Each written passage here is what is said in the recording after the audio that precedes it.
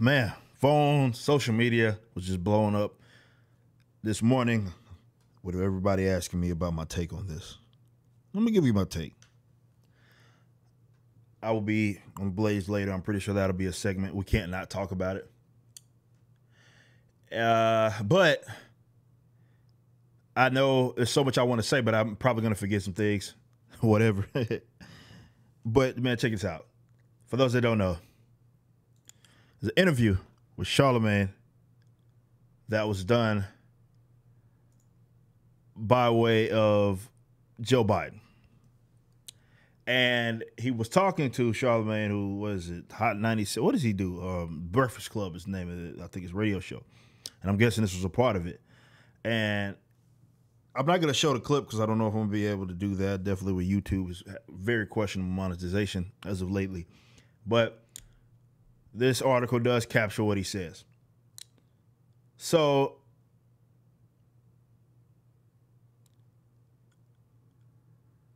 he says it's a long way until November, Charlamagne says. And then Joe Biden responds, You've got more questions? Well, I'll tell you what. If you have a problem figuring out whether you're for me or Trump, you ain't black. I'm gonna repeat that one more time because yeah, this man just said that. He said, You've got more questions. Well, I tell you what, if you have a problem figuring out whether you're for me or Trump, then you ain't black.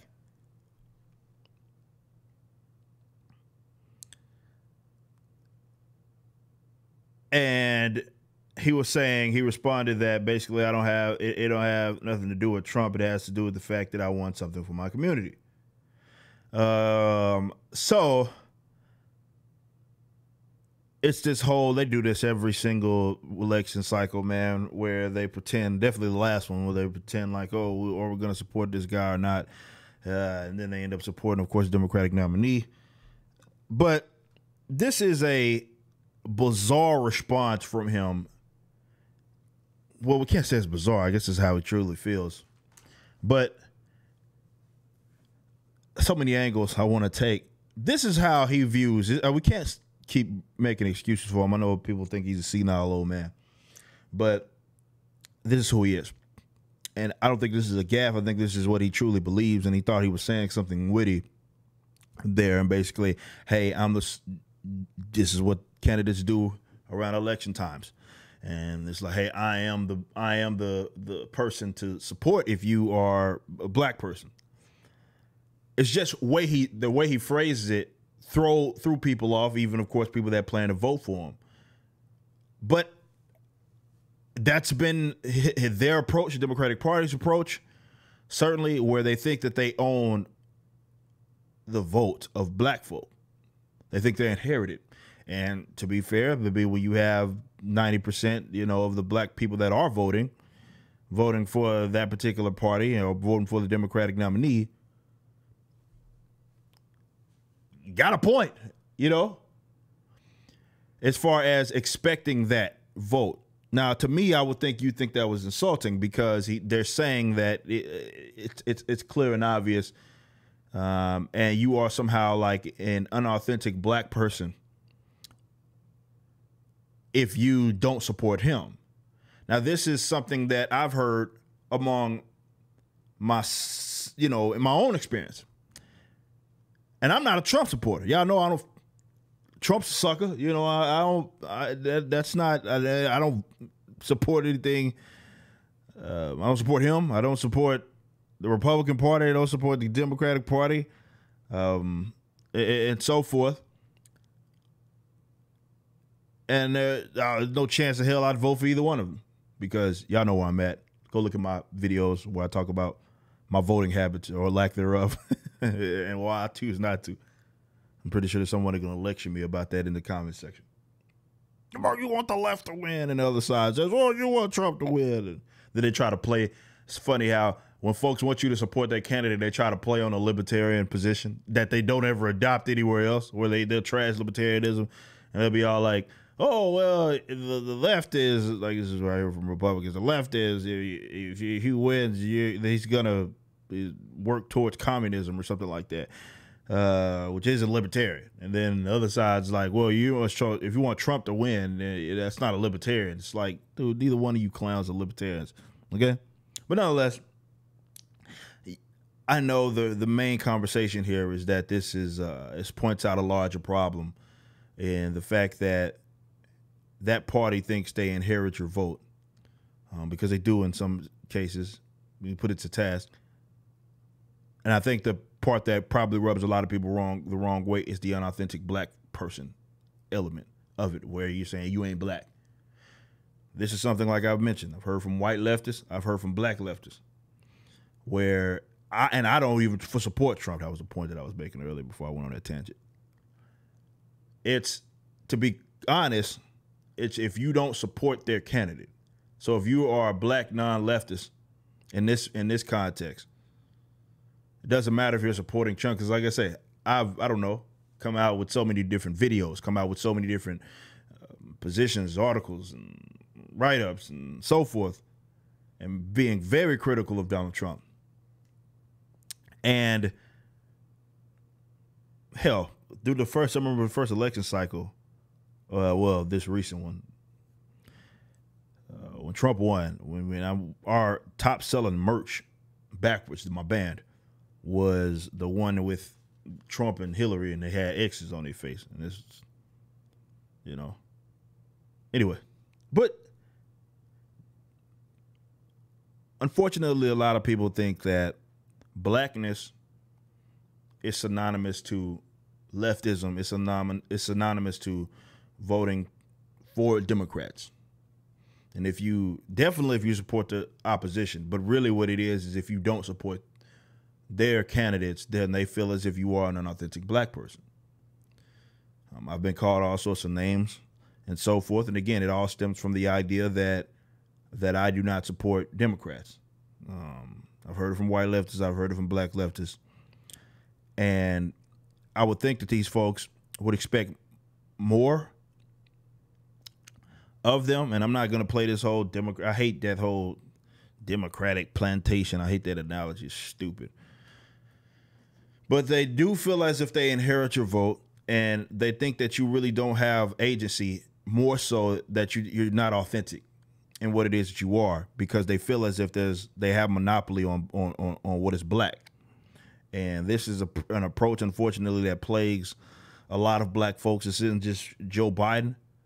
I mean, he's saying what they've been basically probably mumbling under their breath for the longest is all he said but you should want more for yourself, and there's more to blackness than being a Democrat or being a leftist.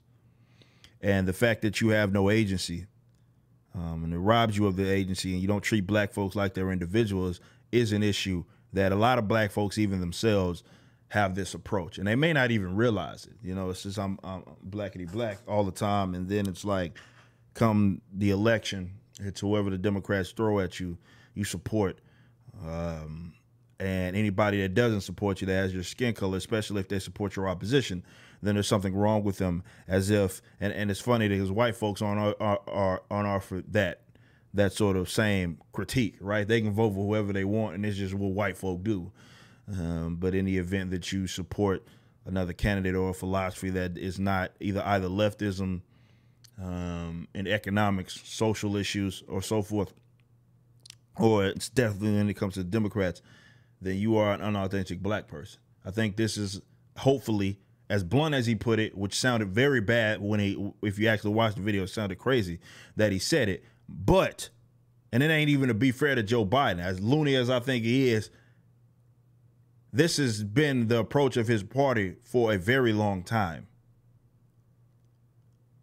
And it ain't just exclusive to like white leftists such as himself. Now we could go all in a all. It's funny he mentions like his record uh, in the in the video, but it's not a very good record when it comes to black issues. However, it's like a how dare you even consider not supporting these candidates? This is how they feel about you, and this is why. And I've long talked about this for for years, really, and how I think there's two issues here, right? One, is that you show that these guys don't have to do anything for you because they guarantee they guarantee your vote. Like it's the only voting block of when it comes to a voter demographic that votes ninety percent for for a party. In terms of the people that do vote, obviously this doesn't include the black people that don't vote. Um, but when it comes to the ones that vote ninety percent, that's that only only group that does that for one party. And they come out on the other side, including y'all beloved half black president uh, Barack Obama. You get nothing out of it, really. You get nothing. You get absolutely nothing out of it. It's all a show. And that's because they feel like they inherit your, your vote regardless, and there's nothing that they have to do for you. The other side of that is that expecting them to do something is is, is probably the larger issue here, um, and thinking that these guys have to move their move your world for you.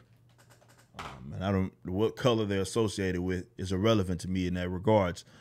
Um, you know, but this is bringing about a larger issue that I hope people now, especially even you know the Black Democrats or people that had that were going to support him, look at it as this is y'all's former VP, you know, right hand man of uh, of of your beloved half black president that you guys ran raved about. Say that you still want to be a president. This is how they view you guys. This is how they view your voter block. This is how they view view you as a as a uh, a, a, race or ethnic group or, or what have you.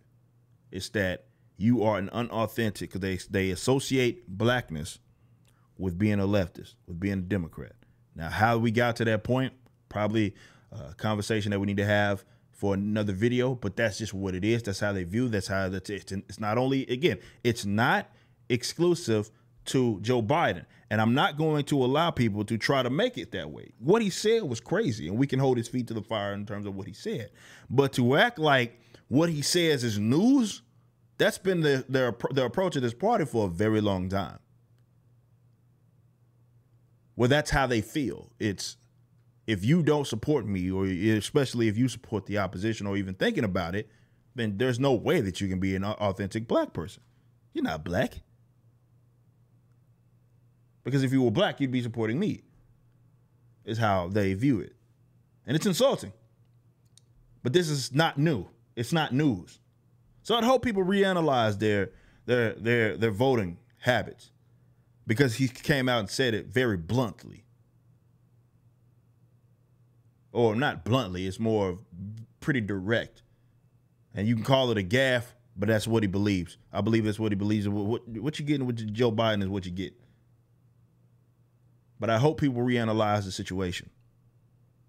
I've never once told people who to vote for. I think you're you're maybe silly for voting um, altogether, or especially for either of these candidates. Um, However, I don't know it sounds almost like I was a hypocrite there. Uh, I don't associate your blackness with your voting habits. Like you, you, it's something you could not control. You were born that way, and I understand what the what the, what the culture tends to lean lean towards. I understand that, um, but I don't associate blackness with voter habits. Right? at all. Like it's it's it's a silly thing to measure, and it really limits agency of black people.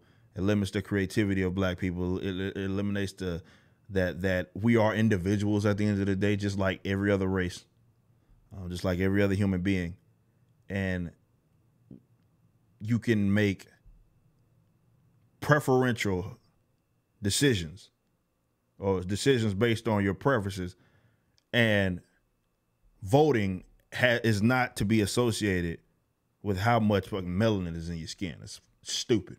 But that's unfortunately from a cultural standpoint where we're at. You can be mad at Joe Biden.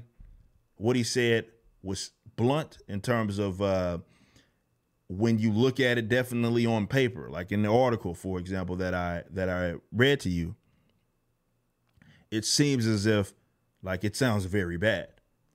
But to act like that position is new is intellectually dishonest. Now you can make the argument that there's folks on the other side that um, that um, when I say other side, I mean like maybe more black conservatives that feel a certain way in that regards, more so in a similar regards. Um, but as like you should not be supporting that party, you should support theirs. My position has always been expecting any of these crooks to move your world for you to do something like Charlamagne saying, um, that's what you're gonna do for your community. They're not gonna do nothing for your damn community.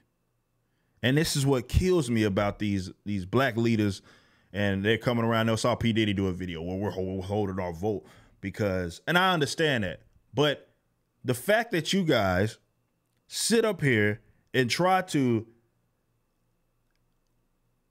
say who's going to do the most for us, and that's who we support, it's going to be the death of your community if it hasn't already. Because these crooks ain't going to do nothing for you. Or it'd be very minimal in terms of what you could do for yourself.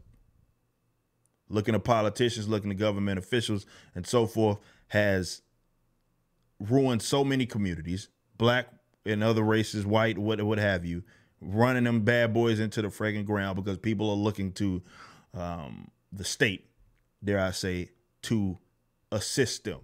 When quite often it is the state being utilized to destroy them.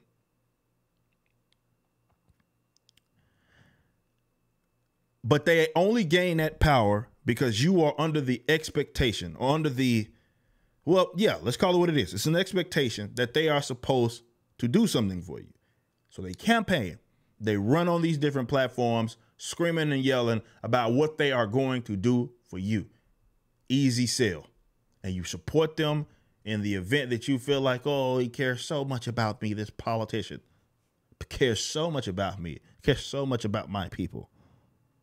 And then you get nothing out of it. Two to four years, you repeat. You see the problem here? This is why I'm not saying go support the other party because I don't think they're going to do anything for you either. But the core issue is that you shouldn't expect them to. But be mad at Joe Biden all you want. That's how he feels. But it's not news.